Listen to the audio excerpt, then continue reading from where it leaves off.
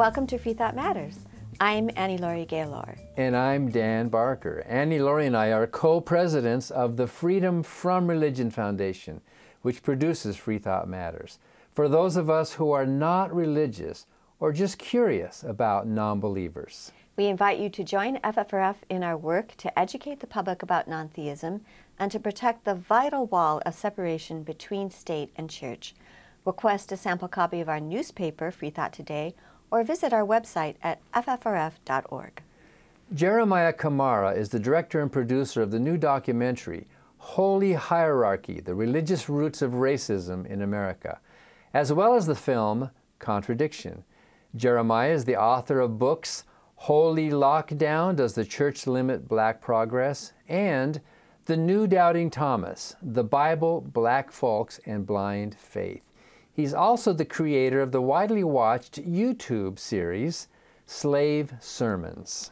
Dan got a chance to sit down with Jeremiah when he spoke recently at FFRF's National Convention. But first, let's watch the trailer for Jeremiah's film Contradiction, which is now streaming on Amazon Prime. Where would black folk be without the church? Where would black people be without our faith in God? They say the church is a hospital for sick people. Are there too many churches in black communities? But what's causing all the sickness? The devil is ruling this world. What is that you smoking? I want to always challenge our churches to do better. I talk to God. Gamble, drink, go to church. Who started the Baptist denomination?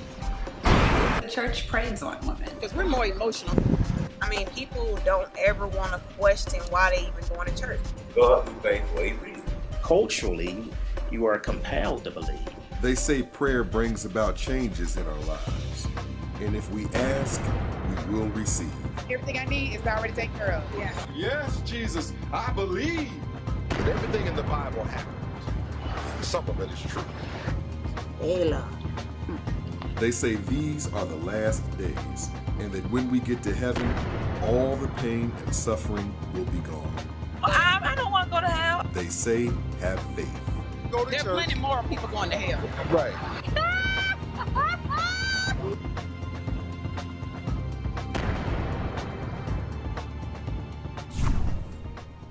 So, Jeremiah Camara, welcome to Free Thought Matters. Thanks for having me. Good that, to be here. That was a powerful trailer that we just saw of your movie Contradiction, and a powerful movie. And uh, basically, it's about the contradiction is here's all these churches and neighborhoods that are doing so badly. Yeah, why are there so many churches in, in black communities? Why are the black communities uh, saturated with churches?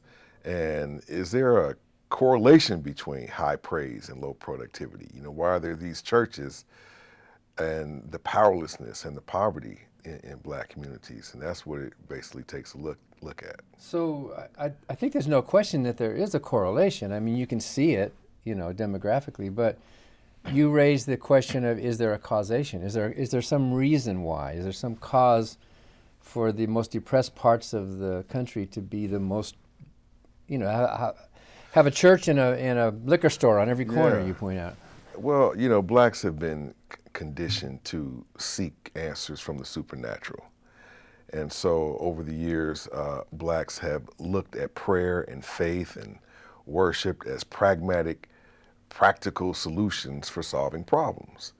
And so one of the things I think is that blacks have really had trouble problem solving because prayer is not a solution uh, but it's a very um, quick come up. You know, we saw the churches in Chicago, especially uh, L.A., Washington, and it's crazy because some most of the streets that we were on that had the most black churches was called Division Avenue for some huh. reason. And uh, Chicago, there were churches next door, uh, adjacent, down the street. I mean, we literally filmed about 200 and something churches on three streets. Yeah, in just a couple blocks. So to tell the story that, hey, I was down, I was once this, and now Jesus lifted me up, you know, blacks get kind of excited about that story, but you, you can't continue to do something that you've been doing um, for decades and expecting some different results. So we see the empirical evidence just doesn't line up with the churches being, you know, so prevalent in the black community. Well, could it partly be the fact that churches are a good way for a few people, namely the pastors, to make a living? I mean, some of them are making a good living in these depressed areas. It's a quick come up, and it, it doesn't require a lot of, I won't say effort, but it's relatively simply to get ordained and, you know, become an ordained minister and call yourself a minister. Um, one of the things I noticed too, uh, when blacks apply for loans for businesses, it's a lot more difficult than it is applying for a loan for a church. You apply for a loan for a church, you're more likely to get it because ah. they have this build and we know they will come uh, mentality uh, for the church. In a sense, there's a lot of truth to that. And so it is a lot of money for the pastors. You know, blacks, um, since 1980 have uh, given the churches 420 billion dollars in aggregate. In the U.S. In the United States, and that pans out to 250 million dollars on average a week. That's going into the churches, and there's just not a lot of lot to show for it. Coming out of the pockets of people who don't have deep pockets. I mean, coming out of the pockets for people who don't have deep pockets. Uh, was one pastor in Atlanta who asked for uh, $65 million for a jet. I think he got 70 million. Uh. And the street that he's on in Atlanta is in need of uh, revitalization. Division you know? Street? it's not, it's actually called uh, Old National. Ah. Uh, well, that's the name of a bank, too. Yeah, it's the name of a bank. Well, his name is Creflo Dollar, so it oh, all goes okay. together there. So that's not a bad gig. I mean, maybe we're in the wrong business here. My wife always tells me that. She said you could have made a lot of money. I think when we were in the Philippines. Uh, that's where we met, right? That's where we met. Uh, Norm was Norm. Norm Allen. Norm Allen. Yeah. He called me the reverse preacher because I had the the fervor and the passion, but it was on the opposite the opposite message. So, what was your uh, upbringing and background? You were religious. Not really. I mean, we went to church. We weren't Bible thumpers or anything like that. My parents did uh, allow me some freedom not to go to church. They didn't bash it in me. Sometimes they went. I said I didn't want to go. It was okay with them. Did you believe any of that stuff? I did. Uh, earlier, I've been this way since I was 21, though. So I don't really have that coming out story mm. or that story of breaking through uh, uh, through the family and, and letting my parents know what I was and the backlash that I got from friends and family. I don't have that story. I've been mm-hmm. doing this for so long, and in this they, they just probably, you know, accepted it a long time ago. When I was living in Cleveland, though, I I was uh, heavily in church. Um, I lived with a pastor. I was going to church three or four times a week, and I was involved uh, in the Pentecostal church. So I was studying yeah. What's the guy's name? Herbert Armstrong. Yeah, Herbert W. Armstrong. Yeah, the Church of God in yeah. Christ. And uh, so I was had the lights off on Friday, and uh, Friday night until Saturday morning, and I was sitting up with old Miss Madden. She was old then. She's still living. So it's I, a miracle. She, right? She's got to be hundred or close to it, because she was old in in the early uh, 80s. But when you were there, were you feeling it? I mean, were you believing? I tried, Dan. I tried. I wanted to speak in tongue. I thought it was fabulous that these people actually had a, a language that they were speaking, huh. and I wanted to experience that. You know, I wanted to to, to to to have that feeling of joy that was, you know, apparently uh, these people were experiencing in church, but it just it just never mm-hmm. happened. Now I'll tell you, one of my aha moments, or people always ask me, what what how did you come out? What was there a moment? And I remember asking you that. You said, "Well, Jeremiah, that's like asking me when did I grow up?"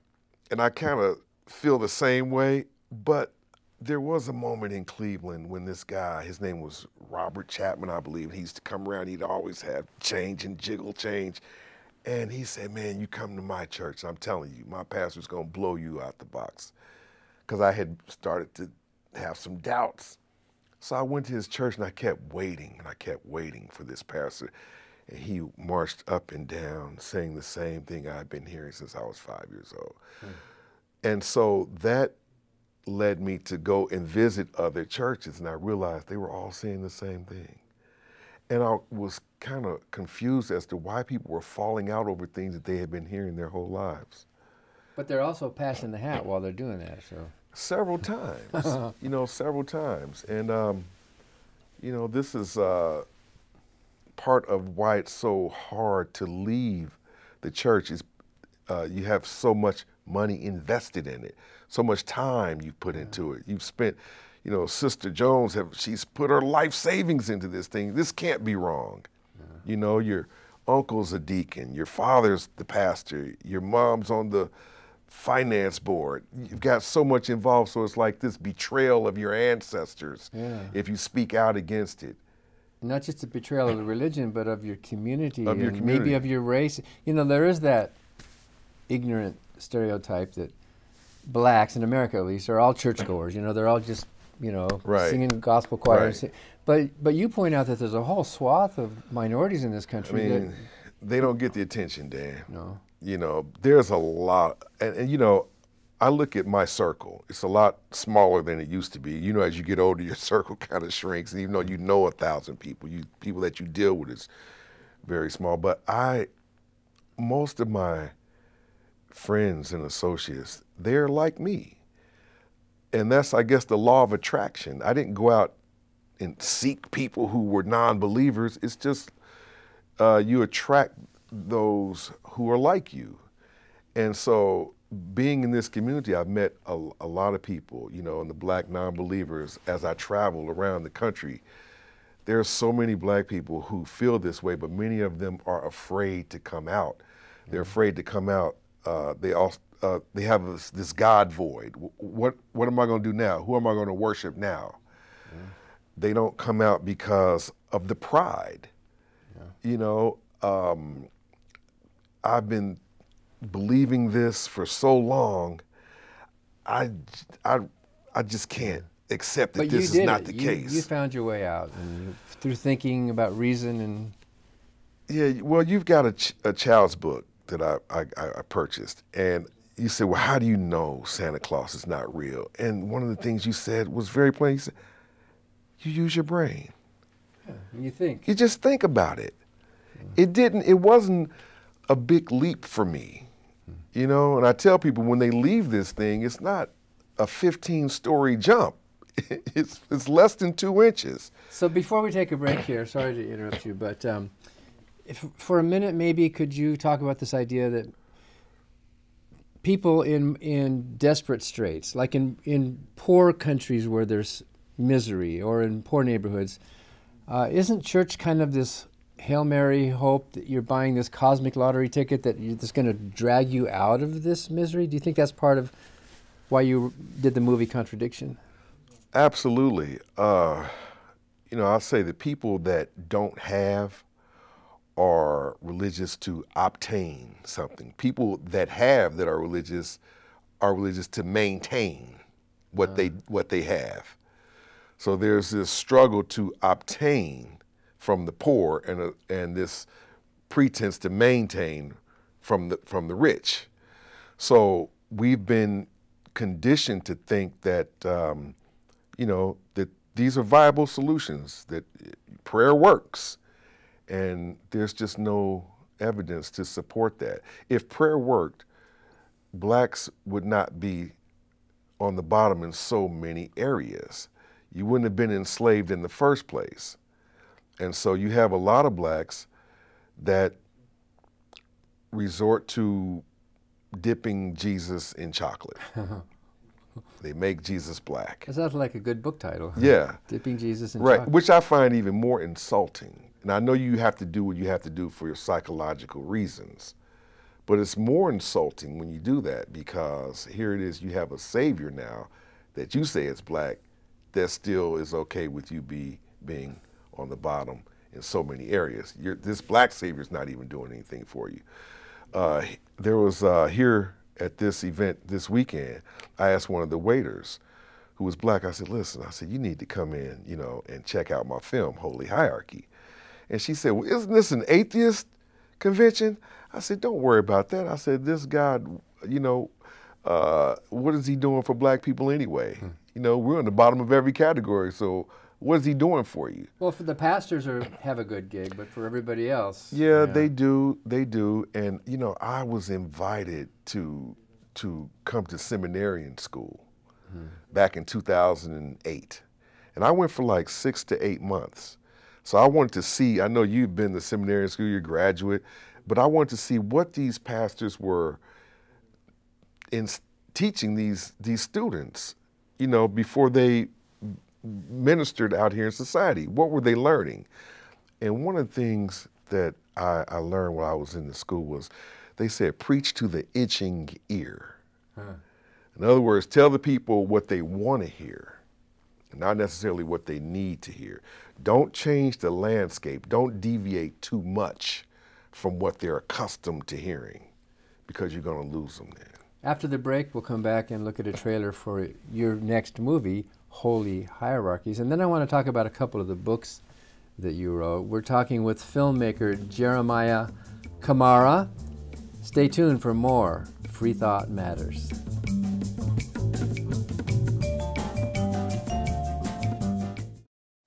Hi, I'm Ron Reagan, an unabashed atheist, and I'm alarmed by the intrusions of religion into our secular government. That's why I'm asking you to support the Freedom from Religion Foundation, the nation's largest and most effective association of atheists and agnostics, working to keep state and church separate, just like our founding fathers intended. Please support the Freedom from Religion Foundation. Ron Reagan, lifelong atheist, not afraid of burning in hell. Thank you for watching Free Thought Matters. You can find more content by the Freedom from Religion Foundation at our website, ffrf.org. Follow FFRF on Facebook, and you'll get notifications about all of our content, including whenever we go live on FFRF's Ask an Atheist.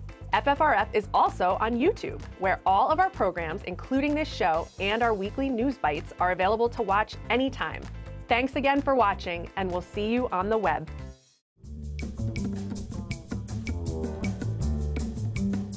And welcome back to Free Thought Matters. We're talking with the filmmaker and author Jeremiah Camara. And uh, can we look at uh, the trailer for your movie sure.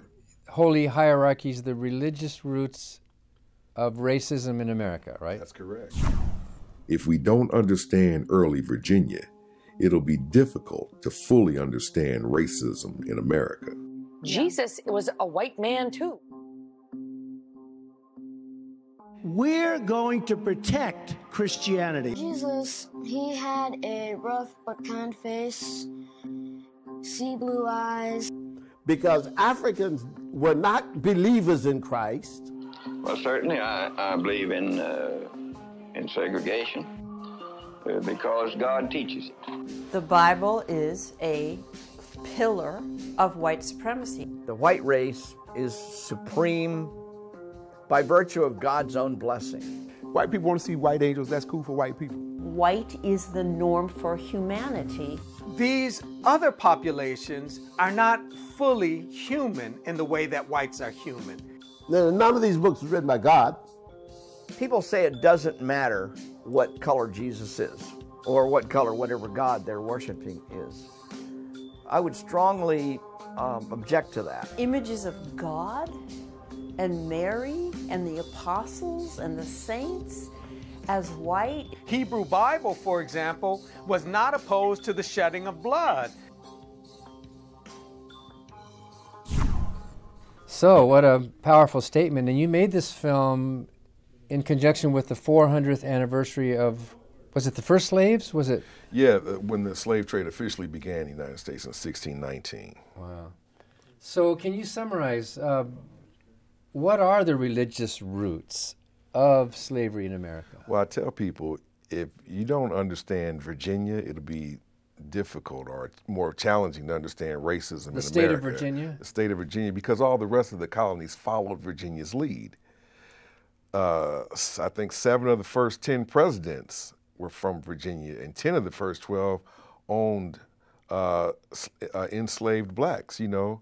Yeah. So Virginia was very prominent. They had a lot of the, the big players, uh, George Washington, um, Jefferson, J- uh, Jefferson, um, J- uh, Madison, ah. Patrick Henry. Ah. So these were like big players, and all the rest of the colonies followed.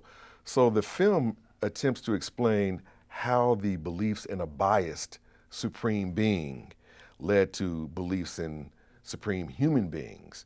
You know, if you believe in a supreme being, it's a seamless transition to buy into supreme human beings and how these beliefs work their way into the legal system, ultimately turning racism into an institution. So the title of your movie has the word hierarchy and this this thought process in the human brain that there are levels of people, levels right. of there's clergy, there's leaders, there's monarchs, there's kings, there's lords, right. and then there's that means there's people down here too. Absolutely. One of the most fundamental precepts during colonial times was that a God made whites to be superior over the inferior blacks. And there were laws written to even support that notion. A law was written in, I think, in 1667 that said God is on the side of the slave master. Mm-hmm. And so this, they they codified this and, and, and put it into law and put it in the slave codes. So this notion of black inferiority has a legal uh, component to it. And that's why I say, what is racism? Racism has a legal component because racism is essentially the legal backing of a group's prejudices, uh, stereotypes, bigotry, um, beliefs, and ignorance, when that's legally backed, that becomes racism. Yeah, and that's in, what it does. In this country, people are free to be bigoted in their minds, right? right? But when it becomes public policy, that's right. where the problem. But it is true, as your film points out, that the Bible itself is the backing for those policies. The Bible itself is a slave manual. Even Jesus, right. Jesus talked about how you shouldn't beat some slaves as hard as others because they didn't know better. It was just assumed that there was this lower class of people. Right, and so it, the the Old Testament actually uh, supported the shedding of blood, and so it was never opposed to it. So these people saw this as a means to acquire what it is they wanted to, um, you know, do these acts to people who were not like them, from a God-given, you know, order and support to, hey, it's okay to do this because the Bible looks at people that are different as a problem to solve. They did the same thing with the American Indians when uh, absolutely the Massachusetts Bay Colony, the Pequot Wars, when the the British colonists came over and burned this village with children and women and everybody. They just burned them all. And a couple of preachers were saying, "Well, that doesn't sound very Christ-like." And then uh, others said, "Well, it's in the Bible. The Bible did that. They had genocides and killings, right. so these people are not saved." Right. So anybody less than you deserves to. Absolutely. Uh, and you know, slavery was more economic driven, but racism was a justification for slavery. Yeah. How convenient, right? Right, because you needed to just you needed to sleep at night. So you justified enslaving by saying, you know, these people are not really fully human like we are. So we're going to enslave them for the economic gains we can get, but we're going to invent racism to justify it because they weren't fully human. Yeah. And this is what happened. And the rest of the colonies got their lead from Virginia. Well, that's kind of the history of the human race. I mean, all these, a lot of these wars are based on the enemy being, you know, the Japanese or these people being less than human beings, which gives us then this authority to. Right. So you wrote a book called uh, Holy, Lock- Holy Lockdown Does the Church Limit Black Progress? And, and that book, I looked for books, you know, as a president's to pull from. There was nothing like that. It's probably the first book written that criticized the institution of the black church. And what that book does, it, it again looks at the saturation of churches and black community coexisting with poverty and powerlessness. Again, why are there so many churches yet so many problems? So why lockdown? What's the word lockdown? Uh? Lockdown, uh, my media company is called 12th House Media, and in astrology, uh, some symbol, symbol, uh, symbolically speaking, the 12th house is the house of prisons. And so I feel that blacks are in, in, in a form of religious prison, in a, in a lock, state of lockdown, because it's so difficult to pull away from it. We think that the church is our culture, but it's a, something that was imposed upon us. And there's a conflation of church and black movement, you know, somehow being, uh, the religion somehow benefits these movements. The church was simply a building. It was the only built place really that we could come and meet. Kind of like the water cooler where you could find. That's where you go. That's where yeah. you go, and that's where even to this day, a lot of our movements are held in the church. And no matter what goes down in the community, the first thing the preacher says is, "Let us pray." Hmm. When you do that, you're establishing a mindset that's now going to expect godly intervention on a project that is entirely human in scope. Well, you're doing some great work and very creative work. Your films are just a joy to watch, and, and you learn a lot. I mean, there's some cringing moments in them, but let's not shy away from the truth. Well, exactly. thank you. Thank Thanks you, Jeremiah Camara. Appreciate that. It's always a pleasure to spend time with you. And thank you for watching Free Thought Matters, because free thought matters.